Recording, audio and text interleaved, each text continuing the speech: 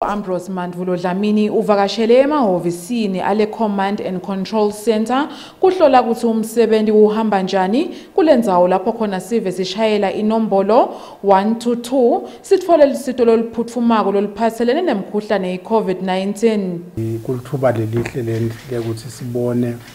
eh emva kokube